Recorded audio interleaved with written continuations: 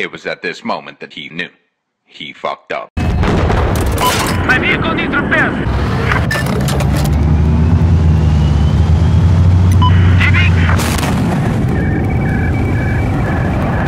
Oh, fuck.